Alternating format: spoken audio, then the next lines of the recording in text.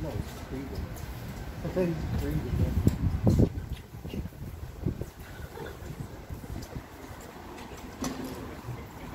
Welcome on board the Dunbrody. So what we are on right now is a replica ship and this was built right here in New Ross and launched in 2001.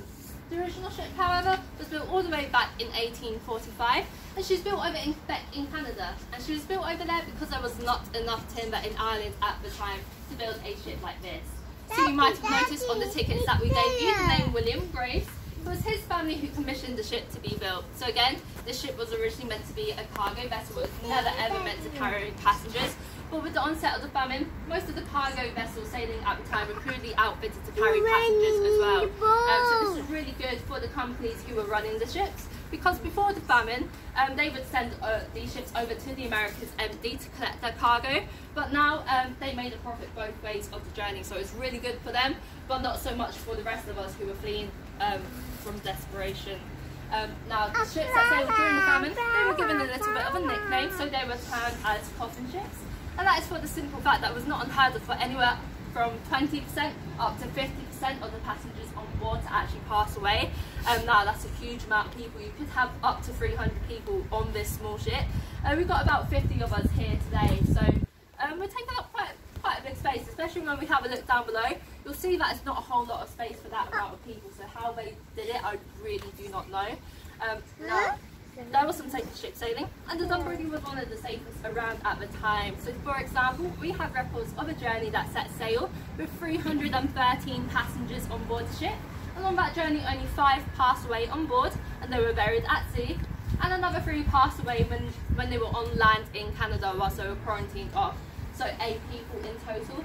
Bear in mind, this is the 1800s. That was really good for a ship of that era in general, and it was certainly a lot better than some of the other ships that were sailing at the same time. Now, we today on this journey, we are poor people. We are called steerage passengers. This means we don't really have many priorities on board the ship. So the first thing being is we are only allowed 30 minutes of fresh air up on the top deck a day. That's all we are allowed, and the rest is spent down below in near enough complete darkness um, 23 and a half hours, maybe up to 300 people next to you. It's going to be really uncomfortable down there. Claustrophobic, hot, smelly, humid, sweaty, all sorts, just not nice at all. Now we were also advised to bring food with us as it's going to be a long journey. However, our crops had failed and the other food in Ireland at the time was just too expensive. We could not afford it. Now, the ship did provide us with some rations, so this is stuff like flour, oats, that kind of thing. So one member from each family was allowed to come up the top deck for one hour to cook a little bit of food. And they'd use this here. So that is called a brazier. Essentially, it's just an open fire.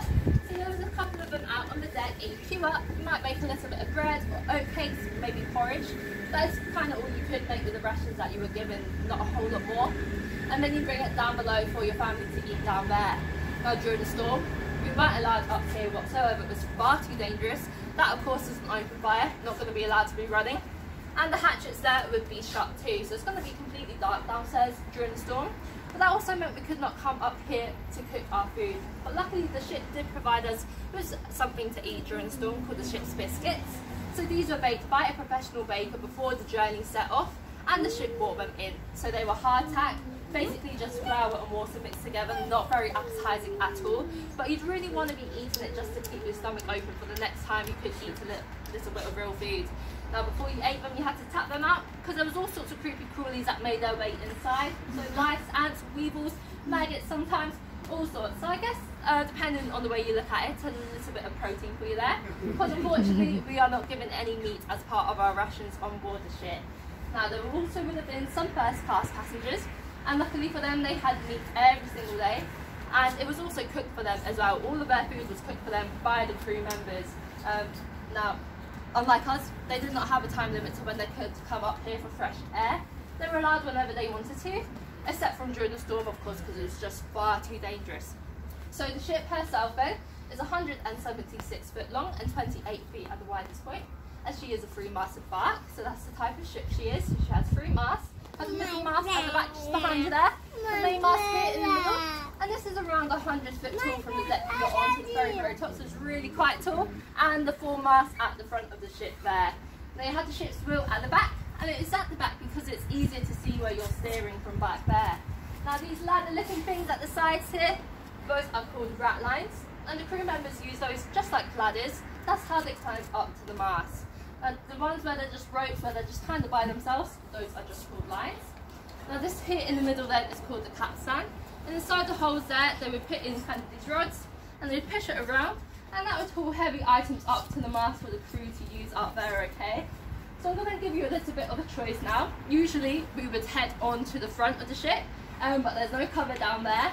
Um, so do you want to stay here and I'll talk about it and you can have a look for yourselves after? I think that might be the better thing to do. Yeah? Cool. No problem. Okay, so that little cabin there, that is ship's kitchen. That is called the galley and we have no access to that whatsoever as steerage passengers. But that is where the crew would cook for the first class passengers and the other crew members as well. So again, they had meat every single day. That would have usually been salted pork or salted beef. Um, but when you have a look in there yourself, you might spot some fish inside the pans as well.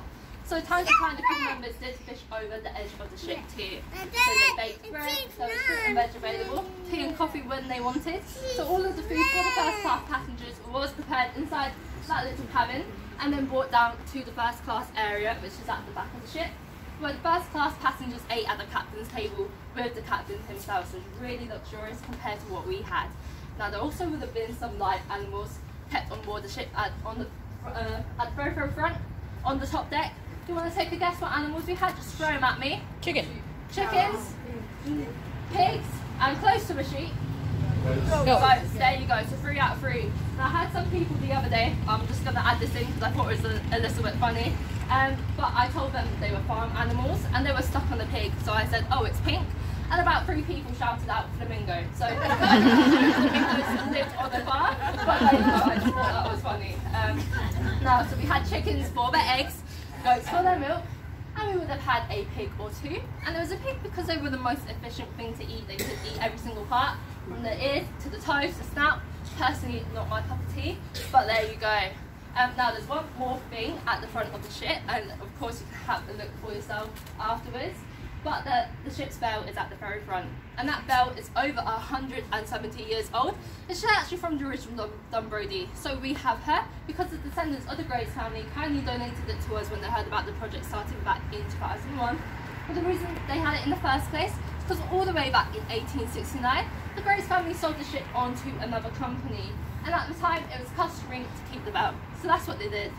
Now, only six years after that, in 1875, the original ship actually ran aground off the coast of Canada, somewhere by Labrador, and it was too badly damaged, so the new owners just left it there to rot over time. So the bell on the ship is all that remains of the original ship to this day. So very grateful that we have it, very lucky that we do. And um, maybe you will give a ring of it after the tour. So we're gonna head on down below now and we're gonna gather in the middle. So for those of you that are able to walk, there is a set of stairs there. So if you want to head down there and gather in the middle at the table, okay? And I'll assist you with the lift, whoever needs.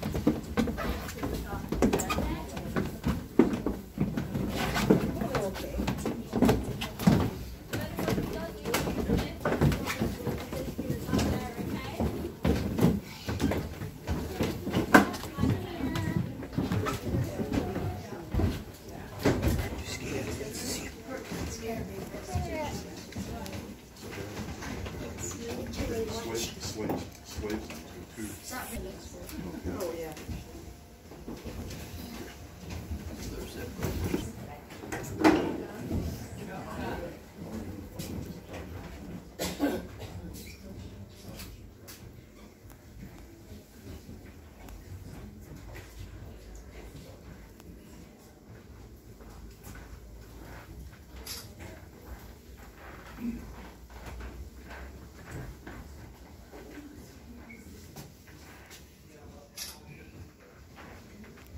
So unfortunately, he did not last the whole journey. He did die on board, and only a few days after he passed away, Mrs. White herself also passed, leaving their five children all alone, completely orphaned on board the ship. So it's a it's a real story. They were real people. Um, now we do know for a fact that five children from the White family made it safely to America. But we can't quite figure out what happened to them afterwards, and that's probably because there was no birth certificates back then, no passports or legal documents. So what we think is maybe one family took one child, another took another, and they would have just adopted the surname of the family that they went with, which is why we can't find anything from our records. Now the youngest of the White family was baby Anne. She was only nine weeks old when she got on board the ship, so very, very young. So luckily there must have been another nursing mother on board at the same time who would have taken her in to feed her and look after her. Otherwise she wouldn't have survived the journey, no way. So again, it is a true story and I imagine loads of similar stories happened all the time on board ships like these. Again, the conditions that they went through absolutely horrendous. Um, so I'm going to tell you about the conditions of um, some of the areas down here. So I'm going to actually start shoot off with the first class area so you can have a look for yourself afterwards. And the first class area again is at the very back of the ship through those archways there. Now those archways wouldn't have been there, that would have been a solid wooden wall. We were completely separated from each other. So they would have had their own gangway in the middle of the room somewhere so they could get up and down when they wanted to. Um, now at the very back in the middle is the captain's table and that is of course where they ate with the captain. But there's two first class cabins in that area and those are the two at the very very back of the ship. Uh, sorry, yeah, they are. Um, now there's one on your left and one on your right at the back. And inside each of those cabins is um, two bunks, and for the toilet they would have used a chamber pot. And a member of the crew would have emptied that for them when it needed to be. It's at the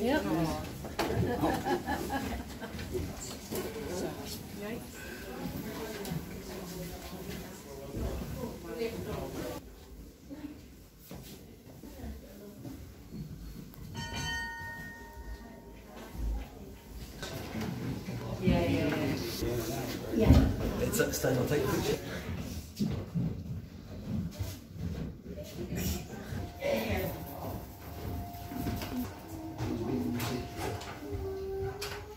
Oh, um, This is better than the I'm sure about the food.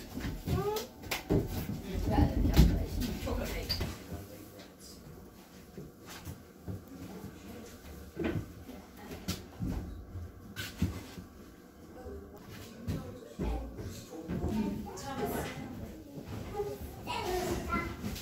Oh, so you do more for work,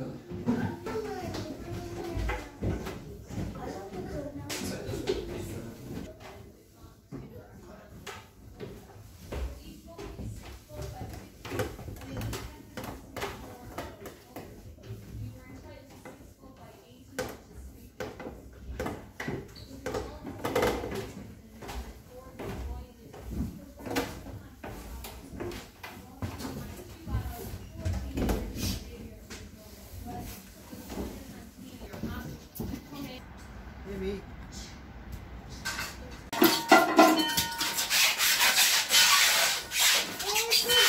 That's fine, usually.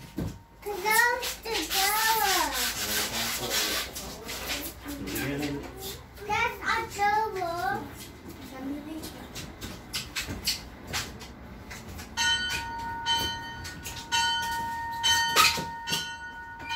How are they going to reach that coffee?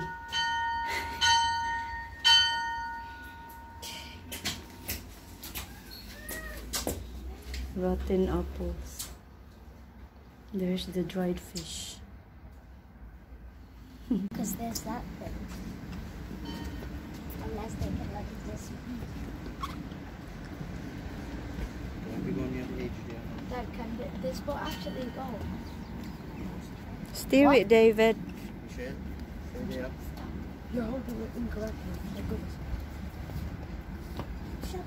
And then Eddie and David turn around. Look near the wheel.